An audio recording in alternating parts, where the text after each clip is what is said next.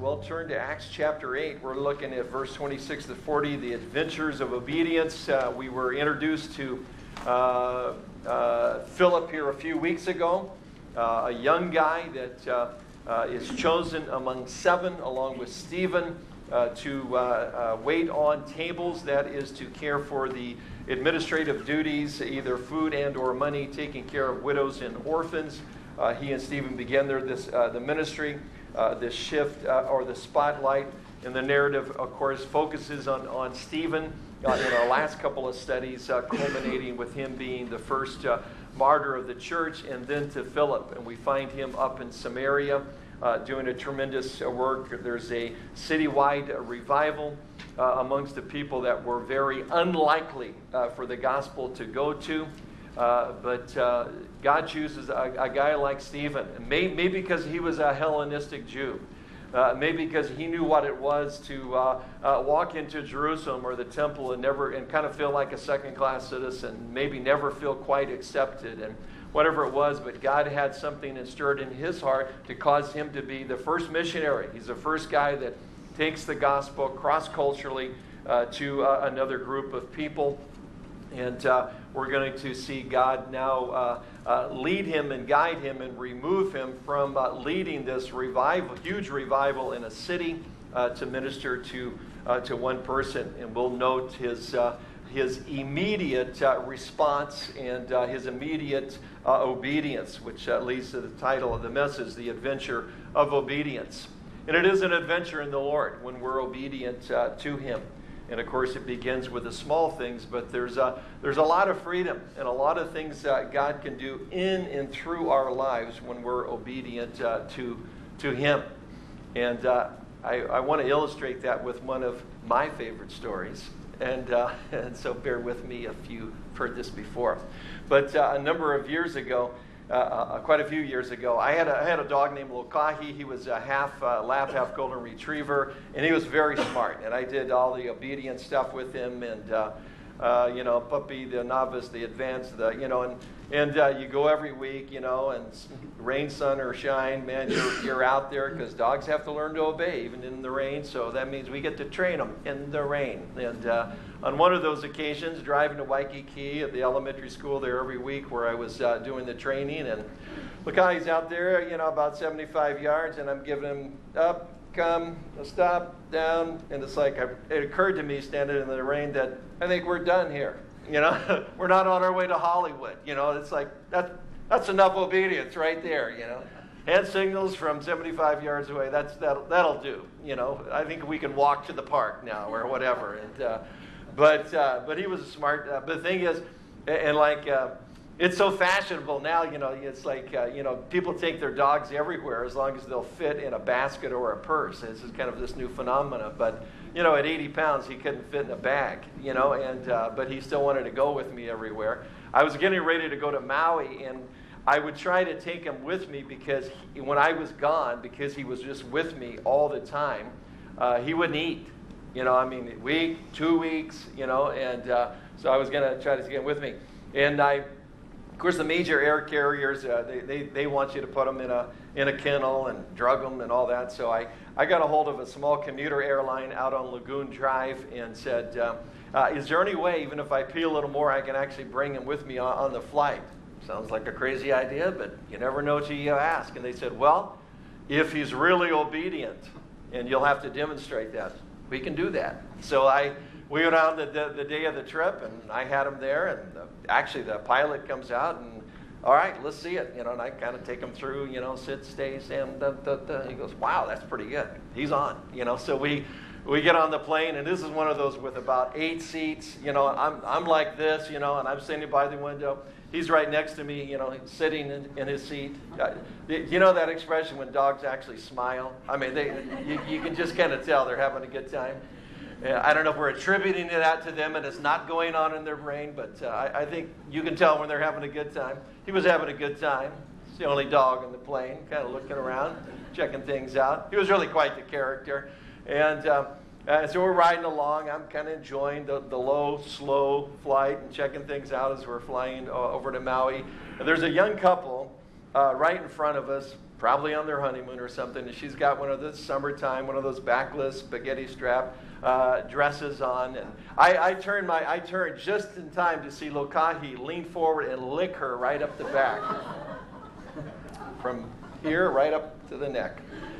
Which, of course, then she turned around and gave me if looks could kill, I would have been dead on the spot. You know, like what in the world just happened? And it's just like she's kind of looking at me like, like what just happened? So I was like, I turned instinctively to Lokahi and slapped him under his chin. Bad dog. I wanted immediately for her to know where the blame should be laid. the way she was looking at me, this uh, wasn't going well. Uh, but uh, and we were okay the rest the rest of the flight. But uh, Lokahi got to go places and do things most dogs never do because he was incredibly obedient. His obedience led to tremendous freedom. Uh, and that's what we're trying to illustrate. of course, uh, if the more obedient we are to the Lord, and we're going to see some pretty instant uh, obedience and some unusual circumstances here with Philip, uh, but it's the same with us, how God can freely use our lives and use and, uh, and lead us places on some pretty tremendous adventures for him and for the kingdom of God if we'll simply be obedient uh, in the small things uh, with him. We might embarrass him once in a while, like Lokahi, but uh, you know what? He'll just kind of maybe give us a little pop on the chin and go, don't do that again, and then, and then just continue to guide uh, and direct our lives. So there's a lot we want to learn here uh, from Philip. 2 Timothy 2.15 says to be diligent to present yourselves approved to God, a worker who does not need to be ashamed, rightly dividing uh, the word of truth. And Philip was, uh, was a man like that and well prepared uh, for the life that the Lord had for him. And uh, just uh, again, one other note of uh, apology no PowerPoint slides the, um, because I was busy. and uh, so we'll we'll survive without them for one week.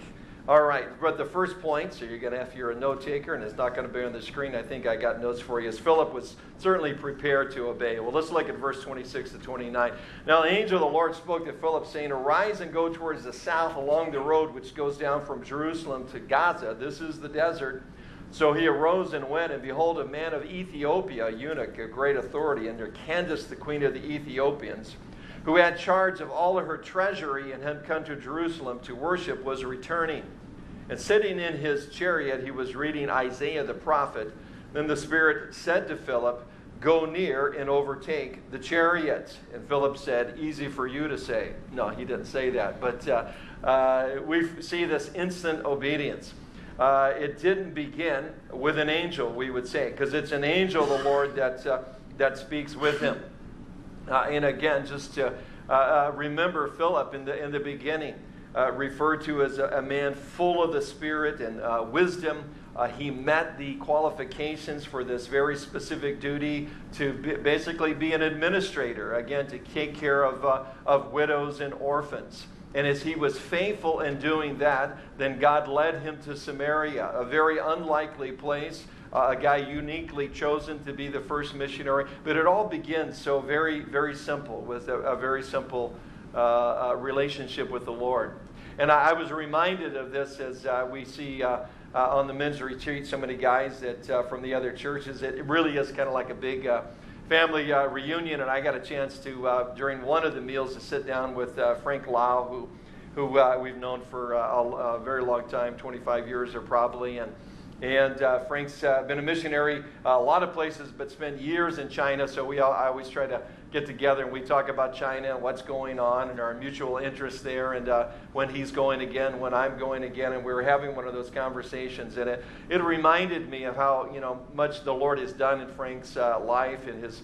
Uh, wife and so forth, but it began at Calvary Honolulu. he took care of the coffee. He set up the coffee pot because he thought if we had coffee, more people might stay longer. They might fellowship. They might make a friendship, and that would be a good thing. So he just bought, him, he bought, bought himself a little coffee pot and, uh, and started making coffee. That was his first ministry. It was just so simple, and, and God did use it. Uh, but just to see how he went on through the years. There's a lot of people that uh, like to quote or maybe a little familiar with uh, Billy Sunday. Billy Sunday was the Billy Graham of his day a couple of generations ago. Uh, and most people that are familiar with him, at least in some degree, know that he was a big time professional baseball player uh, that left uh, the major leagues uh, in the uh, prime of his career uh, in order to be an evangelist and preach the gospel. But in reality, that's not true. Billy Grant, excuse me, Billy Sunday left his professional career in the major leagues to take care of guys that had alcohol and drug problems. Uh, he worked in a soup kitchen in an inner city, and nobody knew who he was or what he was doing. But God, God gave him a heart for that, so he left the big leagues to do what he could to, uh, to care for those that were the worst uh, and the most neediest that he could see around him. There was an occasion then when somebody called him and said, uh, Billy, we know you're down there sharing the gospel with people. We're supposed to have an evangelist at our church tonight. Could, Would you be willing to come share? And of course, he he was happy to do that. And then somebody else heard that, hey, they had Billy Sunday and he preached the gospel and some people got saved, so they called him. And then some other people called him, and some other, and that led to an evangelistic career uh, that was uh, pretty, pretty epic and pretty huge in terms of the, the history of the church in the United States. But that's not how it began.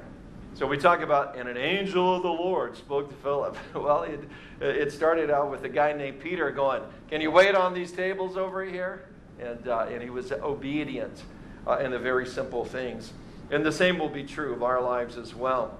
Notice his obedience was certainly a priority. Verse 26 go to the road, go to the south road or the desert. So he, verse 27, started out. So it's not just uh, uh, obedience, it's, uh, it's immediate, immediate uh, obedience.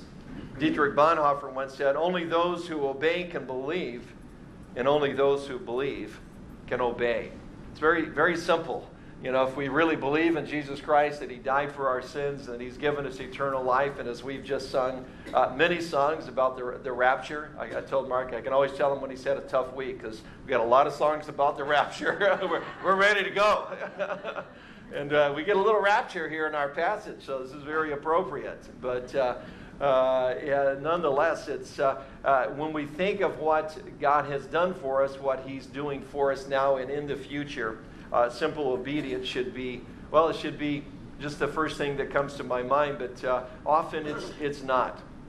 Uh, a number of weeks ago, as we were doing the youth group on Friday night, I, I made reference to, to Eric Liddell and, and everything, and, and I could see that blank, that blank stare that I get sometimes. Never from you guys, of course, but other places. And I said, okay, okay, okay. How many of you seen Chariots of Fire? None. I said, okay, movie night. I'm getting the movie. We're gonna we're gonna watch it. We, and we watched it uh, a couple weeks later. had a had a great time. But uh, if you um, if you haven't seen it, it, it is a great movie. Uh, again, focusing on Eric Liddell, who uh, basically is on his way to the Olympics in 1924. He's been uh, uh, raised in China, where his parents are missionaries. He's gone back to Great Britain, to his, his homeland of Scotland, to complete his education, prepare for the ministry uh, himself. Uh, and of course, the, uh, the film focuses on the contrast between him and another great sprinter named Harold Abrahams. one is running for his own meaning and purpose and personal glory. Uh, and Eric Liddell is running for the, the glory of Jesus Christ. And it's a tremendous contrast, of course, between worldviews, between having real meaning and purpose in your life, and the shallowness of what Harold Abrahams says at one point in time that I have 10 seconds in order to determine my meaning and purpose in life. And of course, he accomplishes that, and he's still left very shallow. Uh, but Eric wasn't able to run, if you know the story, because of his own personal convictions and his Scottish Presbyterian upbringing. Uh, when they're on the boat, on their way to France, he finds out, they find out that uh, his early heat fell on a Sunday. Uh, due, he was due to preach in a church at that time, uh, and that was going to come first. So, based on his personal convictions, he was going to have to withdraw from the Olympics and withdraw from the race. Uh, one British official said at that time, What a pity we couldn't have persuaded him to run. His coach replied, No, it would have been a pity if we had, because we would have separated him from the source of his speed. Even his coach, who, believer or non believer, I don't know, recognized why Eric ran, where the drive of his life came from.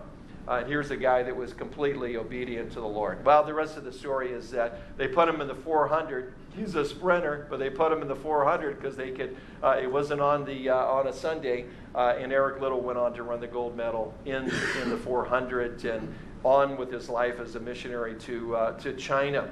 But uh, obedience. Only those who who obey can believe. Only those who believe can obey. Philip was one of those men. His obedience led him to the right person at the right time. We might call this the, the, the absolute uh, epitome of a divine appointment. Uh, we'd also note the fact that uh, he had no idea where he was going or what he was doing. Uh, you know, there wasn't a lot of details given to him by this angel. It's just go down to the middle of the desert down here on this uh, road, uh, down in the middle of the Gaza Strip, and just kind of hang loose, you know, and we'll get back to you later, you know. But, uh, but he goes uh, and, and he does it. Of course, that's one of our issues with the leading of the Lord. Uh, a few more details would be good here, Lord, uh, but they're not always forthcoming. It's like, well, trust me. Well, trust me. Uh, a couple of steps uh, at, a, at a time. it's, not, it's not always a bad thing to step out and obey the Lord when you don't know what you're doing, because then you're really dependent upon the Lord. I have to tell you, man, when I started teaching the Bible, everyone was well aware I didn't know what I was doing. Not just me, everyone was well aware. But uh, you know, you can't let that stop you. And uh, uh, and uh, Philip doesn't let it stop him. So again, he's uh, he's down there. This guy comes by in his uh, his chariot, and a couple of the details that are very interesting about this is that he he hears the guy reading uh, from the scroll uh, of Isaiah. We're going to read that uh, in just a moment. But uh, one of the things that we miss uh, in the English is that the scroll the guy's reading is in Greek. In other words, he's reading a Septuagint, he's reading a Greek translation uh, of, of the Old Testament scroll of Isaiah.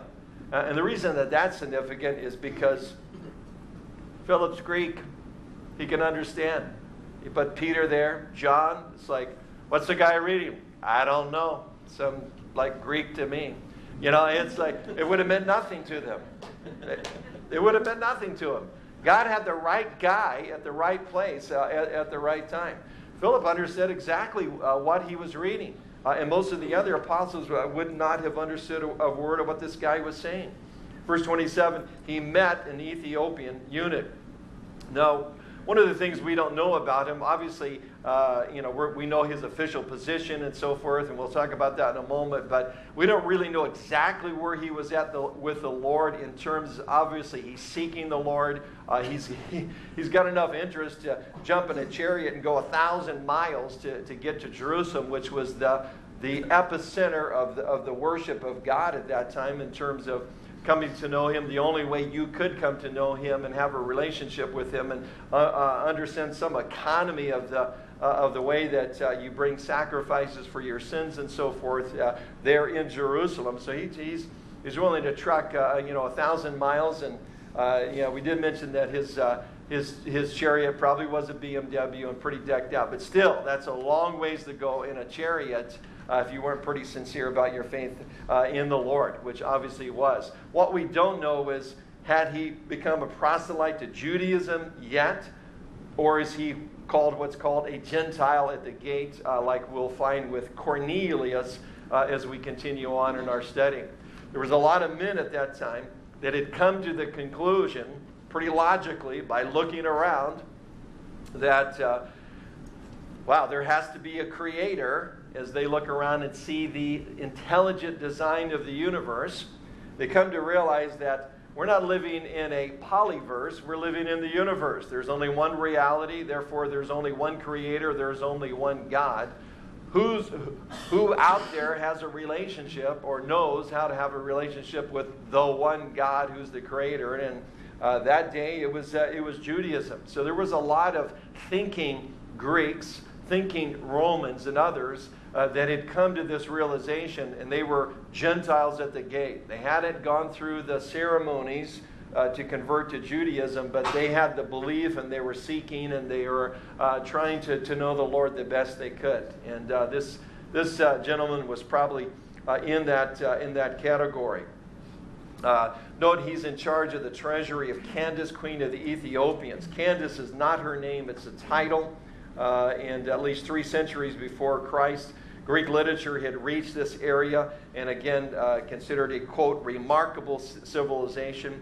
Uh, it's not the Ethiopia of today, it's really southern Egypt, the Nubians uh, that are down there. And we've mentioned uh, before uh, our brothers and sisters who are the Coptic Christians in Egypt being persecuted today trans, uh, tra- basically trace their ancestry back to uh, uh, this Ethiopian eunuch who brings the gospel uh, back to them. Two things are at work, certainly, uh, in this story, uh, and both having to do with the sovereignty of God. God was sovereignly working in the life of, of the Ethiopians and this man here, and God was sovereignly directing Philip to get him to the right place at, the, at the right time. And again, getting a guy like Philip uh, taking him from waiting on tables to moving him uh, to becoming an evangelist, uh, and then removing him from that tremendous work going on in the entire city uh, to get him down in the desert uh, to minister to, uh, to one guy. and again, it's not a wonder that God um, led him to the Samaritans. Uh, but it's a wonder that uh, he pulls them down to minister to one person. So Philip becomes a very important character for us because he's really the first missionary. Uh, and it's very interesting. It was not Peter, it wasn't John. Paul hasn't been saved yet. It's not any of the A apostles. It's just the guy that waited on tables because he's the guy that was willing to go cross cultural. It was something in him and in his past or whatever that God could tap into uh, and say, Will you go reach people that nobody else will reach? Will you care about people that nobody else will care about? Uh, and Philip was, uh, was that man. Secondly, we see that uh, he was prepared, uh, not only prepared to obey, but he was prepared to answer. Uh, and that's in verse 30 to 35. So Philip ran to him and heard him reading the prophet Isaiah and said, Do you understand what you're reading? And he said, How can I unless someone guides me? And he asked Philip to come up and sit with him. The place in the scripture which he read was this He was led as a sheep to the slaughter as a lamb before its shearer is silent, so he opened not his mouth. In his humiliation, his justice was taken away. And who will declare his generation? For his life is taken from the earth. Verse 34 So the eunuch answered Philip and said, I ask you, of whom does the prophet say this? Of himself or of some other man? Then Philip opened his mouth and beginning at this scripture, preached Jesus to him. So note Philip is, uh, is listening. Uh, he, he runs up. Uh, and again, that this chariot probably looked like a big flatbed, not like the Ben Hur. It wasn't the racing model, you know. It was the uh, it was the off-road thousand mile trip model, and uh, so they're not uh, they're not zooming along, but still, you know, picture standing in the middle of nowhere, and it's like, okay, here here here comes somebody. This could be something, you know, and then he's watching. And keep in mind, this guy is traveling. He's a rich guy. I mean, he's an, uh, an official. He has a whole entourage. This is not, not like one guy, you know, going by. This is an entourage of people traveling, not traveling with him. Uh, and uh, he's kind of watching all these guys, and then finally God says, "Oh yeah, that's the guy. Catch up." Okay. and he's just kind of jogging along uh, next to the guy, and then he hears him in Greek reading the scroll. I think he's thinking, "Okay, this could be it." the guy's reading about Jesus' crucifixion here. He's got a got a got the scroll that he picked up in the Christian bookstore there in Jerusalem. no, you, you had to have some money to own a scroll like this. And and the scroll, uh, I've seen the Isaiah scroll, uh, and uh, it's pretty big. So to be unrolling and be at this passage, uh, Philip had to know. All right, now I know why God called me all the way down here. Uh, but notice he, he listens carefully before he, he does anything else, and he's prepared uh, to answer. Uh, our classic verse on this, uh, 1 Peter 3.15, where Peter writes, Be sanctif- uh, But sanctify the Lord God uh, in your own hearts, and always be ready to give a defense or an answer to everyone who asks you a reason for the hope that is in you with meekness and fear. Like Philip, all of us are to always be ready uh, to give a reasonable answer, not just knowing what we believe, but actually why, why we believe it. And of course, uh, uh, we're doing our best to kind of uh, pour the apologetics uh, into the younger generation because when they uh, they're getting hammered every day at school, and uh, and when they get to the uh, secular college university scene, the the teachers there, some of them, their life's purpose is to try to destroy the faith of young Christians, and they are being very successful at a rate of 80% by the time uh, kids leave our colleges and universities, 80% of them are no longer uh, walking with the Lord. So important, not just for them, but all of us, uh, to be able to understand not just what we believe, but why uh, we believe it. And, uh, and Philip was ready. Uh, he was ready to give an answer. Secondly, he was able to answer the man in terms of what he was reading. The question in verse 30 Do you understand what you're reading? So uh, he met the guy right where he's at. He just didn't hear him. He goes, hey, read something from Isaiah here. Do you know the four spiritual laws? No, you know, you know, tracks are good and everything. Do you know the six quantum leaps to Christ? You know, yeah, uh, you know, there, there's some things and methods we can learn, you know, to uh, to share the, the, our faith with other people, and uh, and tracks can, you know, be very effective in, in, helping understand the steps of coming to faith in Christ and why we need salvation and so forth. But uh, for the most part, most people need us to just listen, to just listen. Where are they at? You know, Jesus says to Nicodemus, "You got to be born again." To a guy that's been born again about six times within Judaism, it's like mm, that's not going to happen well, no, you got to be born again like I mean, he goes right to him with, with language that he understands that has uh, meaning uh, and purpose to the the Samaritan woman and says, well, you're drawing water, but I got water you don't know anything about. Really? You know, he, he, Jesus doesn't give a tract to everybody. Uh, he listens and watches and observes it and then speaks uh, a language they can understand and a need that he sees in, uh, in their own, own life. You seem really, really down today. Uh, how are you doing? Wow.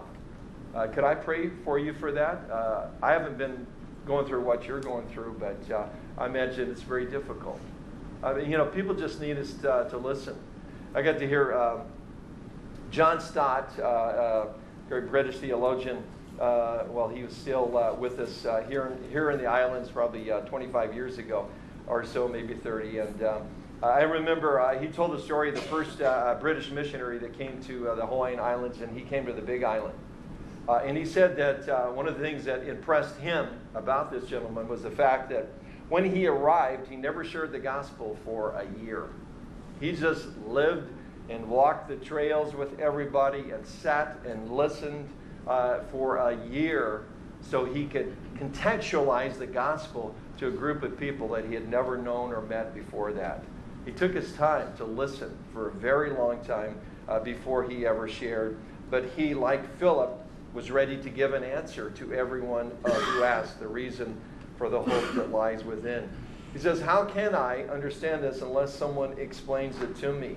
And of course, the, the perfect passage, it's talking about the willingness of Jesus Christ to go to the cross and die a substitutionary death for our sins uh, verse 34. Tell me, please, who is the prophet talking about, himself or someone else? A very obvious question. This passage is filled with pronouns him, he, him, he, all the way through it. Who's he talking about? It's very interesting because uh, there was a point in time when, when Jewish rabbis taught that it was a person. Uh, they didn't understand whether it was the Messiah or not, but many of them thought that it was. But at a point in time, uh, after the rejection of Jesus, at least nationally, uh, it all changed. And if you ask uh, uh a Jewish person today if, if they actually know the scriptures and uh, if they actually practice their faith about Isaiah 53, they'll tell you, and you'll say, Who is it talking about? And they'll say, It's us. It's the nation of Israel. It's the people of God. We are the suffering servant. Can you show me that we in the passage there somewhere? It all seems to be first person. You know, they have an issue and a, and a problem with that. But this guy just looked at the scriptures and looked at the obvious meaning. This is talking about a person. who's the person that it's talking about? Uh, God was certainly giving clarity to his own mind. And, uh, and Philip is there, understands the passage obviously, and is able to start. He didn't end there, but he started with that passage uh, and shares the Lord with him. Uh, what Peter, Philip was not uh, prepared to do uh, we see in verse 36 to 40. He was prepared to obey, he was prepared to give an answer. Uh, he wasn't prepared to get raptured, though. Uh, and that's what happens here. Verse 36 Now, as they went down the road, they came to some water, and the eunuch said, See, here is water. What hinders me from being baptized? Uh, then Philip said, If you believe with all of your heart, you may. And he answered and said, I believe that Jesus Christ is the Son of God. So he commanded the chariot to stand still, and both Philip and the eunuch went down into the water, and he baptized him. Now, when they came up out of the water, the Spirit of the Lord caught Philip away, so that the eunuch saw him no more. Uh, and he went on his way rejoicing. But Philip was found in Azotus, and passing through, he preached in all the cities till he came to Caesarea. So we have this uh, baptism. Look, here is water. Why shouldn't I be, uh, be baptized? So uh, again, you have to uh, picture in your mind the scene. This is uh, there's a lot of people here. Uh, he's the main guy. He's in charge. The whole entourage, and they're all going to wait and watch him go down uh, in the water with uh, with Philip. A very unique baptism when Philip comes up out of the water and then he's gone, and the Lord's taken him in the air. that's our word here that we see. But uh, again, this man would have been familiar with the idea of uh, being baptized. Uh, if you were to uh, enter into Judaism, you had to be uh, baptized. Uh, there was that other little ceremony that's kind of rough on the guys as well. But the baptism was, was an important thing. If he had already converted to Judaism and he had been to Jerusalem, like all the Jewish men that are taking their sacrifices up to the temple, they also would be baptized, each one every time. They would walk into the mikvah, they would walk down in one uh, and down into the water and walk out the other water. They understood that this is a washing away.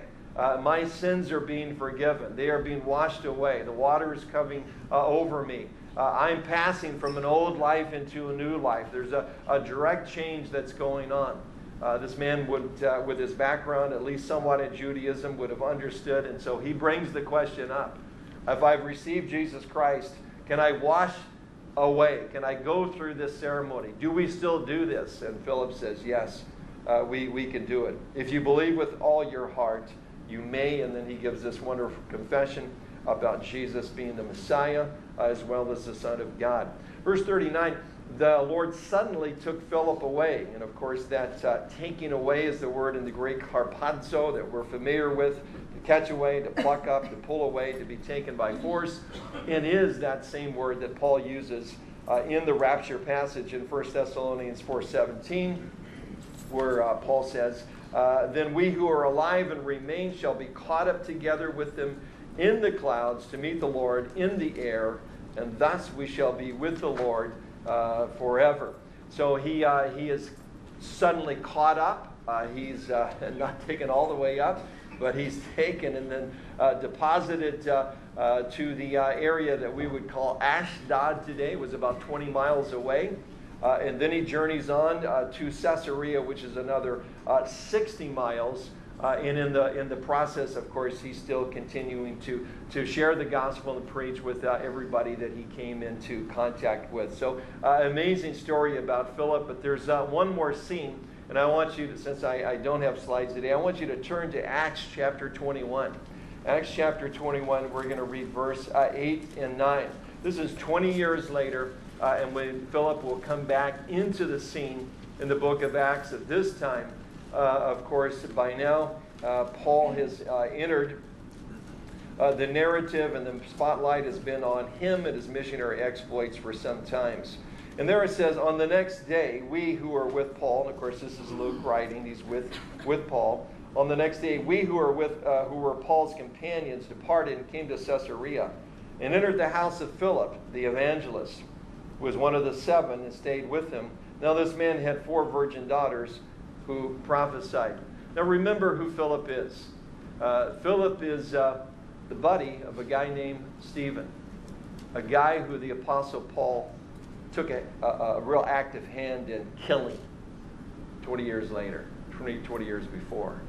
So it's Saul of Tarsus. They're holding the garments, uh, breathing out threats, uh, and takes part in uh, this is your friend.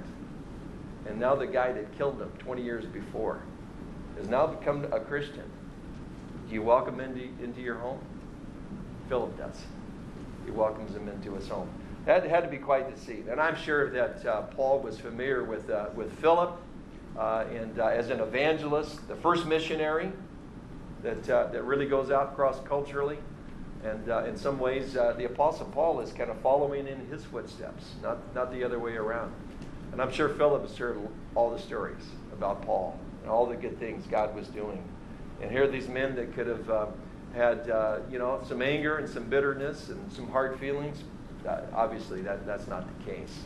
Hospitality, bring him in, part of the kingdom of God, brothers in, in Christ, mentioning his four daughters who apparently had the, uh, the gift of prophecy and how the Lord now has uh, blessed him and uh, raised his kids up to, to serve the Lord as well.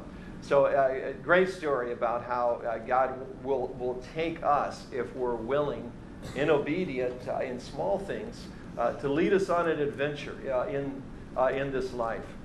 I, I would hate to think of life being about trying to earn enough money to pay your bills every month and that's it. And if you can, you can squeeze a little fun in on a weekend once in a while, then you're ahead of the game. Uh, I, I, would hate to think that uh, that's, uh, that's all it is. Uh, there's, a lot of, there's a lot of freedom that, that's in Christ, free from a world system that says this is what it is. If you don't have this much money or this kind of position, you've never succeeded. Uh, this world knows nothing about true success. And certainly we sometimes don't even know what true success is in terms of the kingdom of God. Uh, you know, we were calling the shots. It's like Philip's there, big revival. You stay right there, buddy. I don't think any of us said, no, the measure of success will, will is if you can get to one guy and minister to him. And if you kind of fade to black after that, you've done all I need you to do. You know, God, God just looks at success and this uh, ministry of success very, uh, very different. The economy of God is, uh, is very different. And certainly that's one of the lessons here. Uh, secondly, how often we miss the opportunities to share the gospel uh, because we're just not listening to those around us. And, uh, and that's one of the things we learned from Philip as well. And then to be able to give an appropriate, an appropriate answer uh, to those because we've been listening uh, to those around us. And then thirdly, uh, Philip's obedience gave his life an adventure, not just in evangelism, but sharing God's, God's love and his grace, I'm sure, in, in many different ways. Uh, a number of years ago, I read this little story, and I've read several uh, books on Hudson Taylor uh, and his uh, ministry of the China Inland missions. Uh, in October 1857, uh, when, and when he arrives to the Ningpo area of China, he's able to lead Mr. Nairi to Christ. the man was overjoyed and talked about the fact that he had been longing and seeking for God for, for so many years. keep, keep in mind, in terms of the Chinese, if you're Chinese, you might find this interesting. But uh, Chinese an ancient culture, uh, like, like the Jews. Uh, they can trace their ancestry back and their culture back about 4,500 years. Uh, from, from about uh, 2500 BC, uh, right up almost to the time of Christ, they all believed there was one God. There's a Chinese, one God, and He was the creator. They, and their sin had separated them, and there needed to be a sacrifice uh, for, for that sin. We've actually been to the Temple of Heaven in Beijing, where one of those ancient emperors built a temple to the God of heaven, who was the creator, who was the one God. And once a year, he, as the priest king, would sacrifice a bull, take its blood, and pour it out uh, on an altar to, to, try to somehow atone for the sins of the people and pray to the God of heaven that they would bring him further, further revelation. Uh, unfortunately, about 6 BC, about 4 BC, Buddhism arrives uh, in, uh, in China. Uh, Taoism arrives uh, in China. Confucianism arrives in China. And, uh, and that message then gets mixed until the gospel shows up later in, early on in the, in the second, second century. But here's a guy that has that understanding of the God of his, his forefathers. Uh, and the fact that uh, now he's come to know that God that they all long to know, and he's so overjoyed. And he asked Hudson Taylor then, this 1857, he asked him, How long have you known this good news in England? And Hudson Taylor says, we, We've known for centuries. And he said, Well, my father was seeking the truth all of his life. He died last year. Why didn't you come sooner? It's a pretty good question. There's a lot of people out there that uh, are, are like, like the Ethiopian eunuch, this gentleman who uh, has a very important position, He's doing what he can. He's a pretty religious guy. He's seeking God, trying to read read something about him, trying to figure it all out. You just needed one guy to come along, and that's, you know, I don't, I don't think Philip said it's a no-brainer, but that's Jesus we're talking about there, and he's just very simply able to lead him to the Lord. Some people are tough to reach, aren't they? They're just you try to share the gospel with them, and they get angry. Uh, but I want to tell you, that's not everybody. That's not everybody out there. And it's not to say that we can't reach those people, but uh, if we'll listen and be attuned uh, if we'll be obedient to the Lord in, in the very simple things. It's amazing the adventure and the opportunities He'll give us. Amen.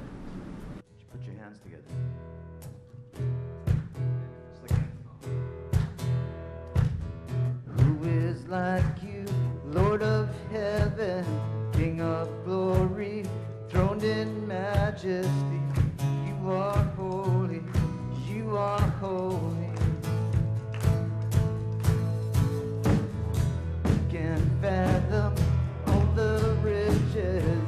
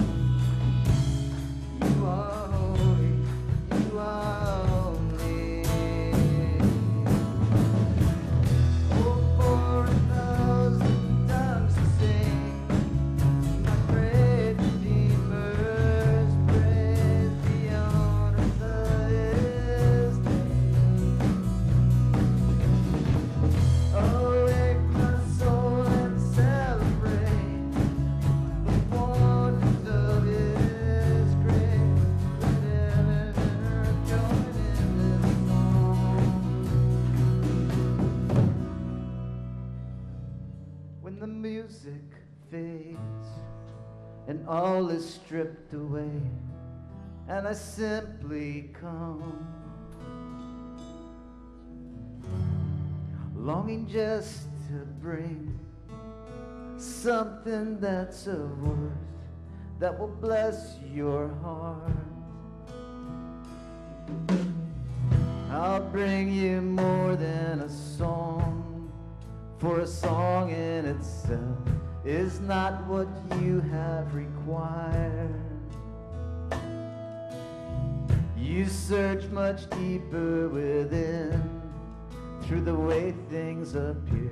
You're looking into my heart. I'm coming back to a heart of worship, and it's all. It's all about you, Jesus. I'm sorry, Lord, for the thing I made. When it's all about you, it's all about you, Jesus.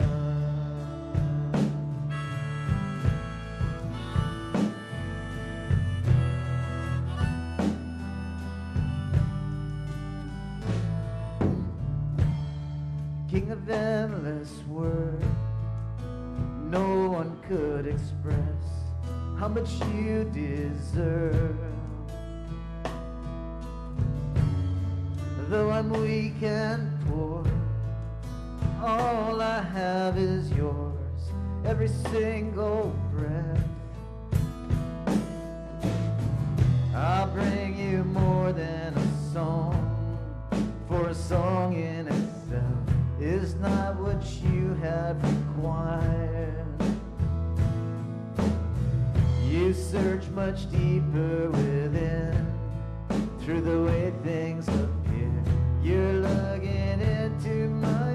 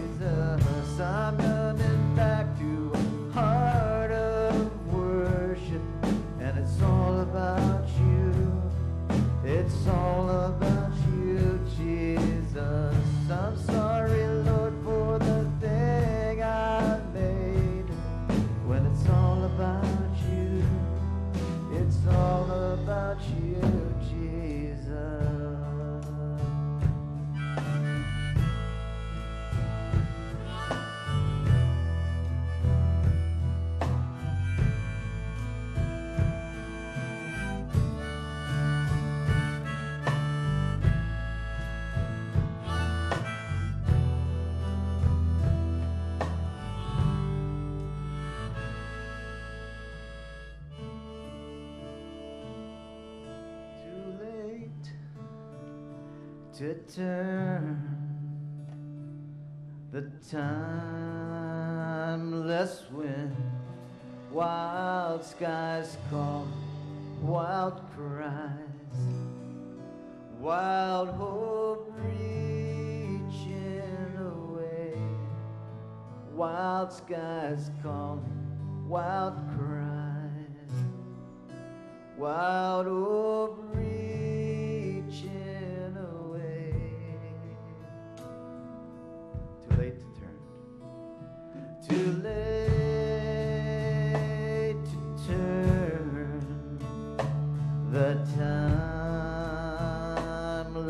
timeless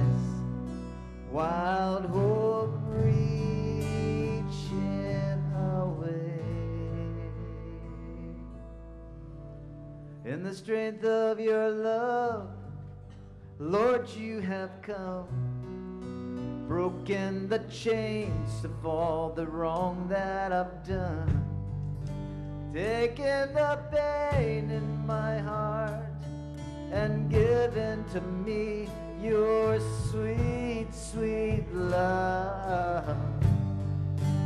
All of my days.